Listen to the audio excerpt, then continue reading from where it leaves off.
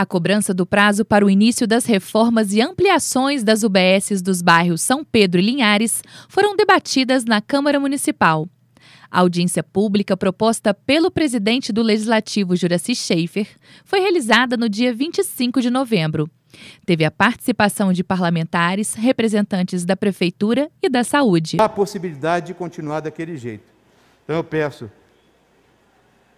à subsecretária Ana Luísa, a Tayandre, que é a representante da Secretaria de Governo, que leve para o governo essa posição, que não é só minha, não. Os vereadores aqui, todos lutam por todas as unidades básicas de saúde. Nós temos visitado. Ontem tivemos no bairro Bandeirante. É outra novela. A novela do Bandeirante com emenda que está lá, que nunca que acaba a reforma. Estivemos em Benfica, na Policlínica. Mesma coisa na Policlínica, o segundo andar que não é feito. E agora, semanalmente, nós estaremos em duas UBS toda semana, através da Câmara Móvel para ajudar o governo. Nós estamos ajudando a governança, levantando os problemas e tenho certeza que a prefeitura deve lançar um pacote de licitações o mais breve possível e que priorize principalmente aquelas que estão mais sacrificadas e lugares que nem têm ainda unidade básica de saúde. Cidade Alta é uma grande demanda, nós temos uma grande população, condomínios populares, condomínios de luxo, é uma região em crescimento, né? Então a gente precisa de um olhar mais cuidadoso e do poder municipal para que a gente possa atender né, com mais direito mesmo, né, na questão dos direitos mesmo dos usuários da região da Cidade Alta. O presidente Juraci Schaefer falou sobre as emendas parlamentares destinadas a unidades básicas. Existem emendas parlamentares que não foram cumpridas, inclusive da própria é, prefeita quanto deputada federal.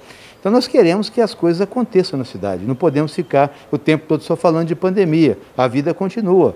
Hoje a nossa imunização já está é, bem adiantada, a pandemia arrefeceu um pouco. É necessário que tenhamos uma visão mais lá frente. Qual planejamento se tem para fazer com que a saúde primária, a urgência e emergência, a saúde pública de de Fora funcione? No Linhares, também teve aumento do número de moradores.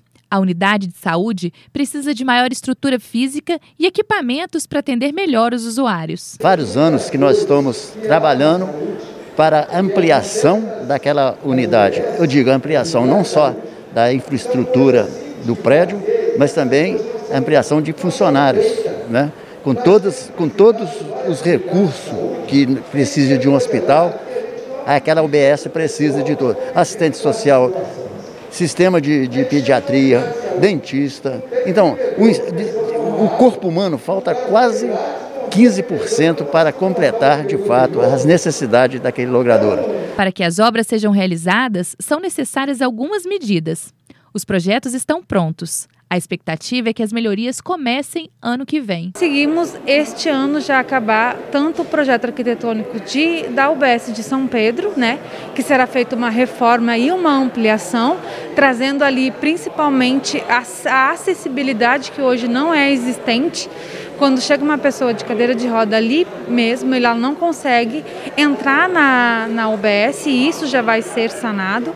E também para Linhares, tanto a reforma como, como a ampliação está pronto os dois projetos arquitetônicos e agora a gente já passou para a demanda de engenharia. Outra reivindicação dos vereadores é pela ampliação da equipe de funcionários das UBSs. Faltam médicos, enfermeiros, agentes de saúde, farmacêuticos e secretárias. Por conta da pandemia da Covid-19, a contratação de funcionários foi suspensa. A Prefeitura diz que deve realizar concurso público na área da saúde assim que o cenário epidemiológico melhorar. Todo o, o empreendimento e recurso foi direcionado para recompor os profissionais da, é, da para combater a pandemia, médicos, enfermeiros, né? Então foram contratados. Mas ampliação efetiva, fixa, está é, paralisada até que o estado de pandemia se acabe. Por outro lado, também, a vigência dos concursos públicos, né, que eu nem cheguei a mencionar, ele foi paralisado também. Então você pode continuar recompondo aquela, aquelas vacâncias, aposentadorias, mas não ampliar de uma maneira sistemática no momento de pandemia. Os editais de licitação têm que sair.